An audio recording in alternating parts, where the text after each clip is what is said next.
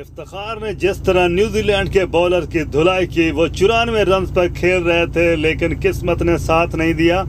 और उनके जो प्लेयर थे, उनके जो साथ देने वाले, कोई प्लेयर भी उनके साथ नहीं टिका, जिसकी वजह से एक के बाद वसीम आया, वो भी आउट हो गया।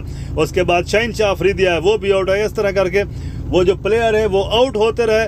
और इफ्तार की जो ये पहली सेंचुरी ओडीआई में बननी थी, वो न बन सकी, और वो इफ्तार 94 पे नॉट आउट रहे, क्योंकि जब लास्ट में आखिरी विकेट थी हारिस रऊफ की, वो रन आउट हो गए थे।